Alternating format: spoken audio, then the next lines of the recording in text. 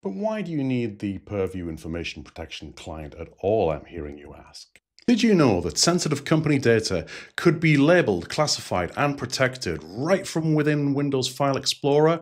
Let's find out how to do it. In this video, I'll show you how to get the most out of what we call the Microsoft Purview Information Protection Client. Whether you're studying for SC 401 or you just want to keep your organization's data safe, I'll walk you through everything relevant to this topic.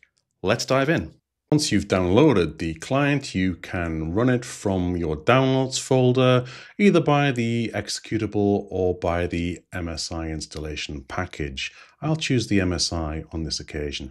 Click yes, and it's a simple install, and it's done. At scale, you can also deploy this using Intune or Configuration Manager. But why do you need the Purview Information Protection Client at all, I'm hearing you ask? Well, this is because it has advanced features beyond the built-in Office labeling. So Office apps like Word, Excel, Outlook, and PowerPoint do now have native support for sensitivity labels. So for many organizations, that built-in labeling is enough for basic needs. However, with the client, this adds advanced capabilities that aren't available natively, such as bulk labeling and classification of files through File Explorer, and I'll show you that in a moment.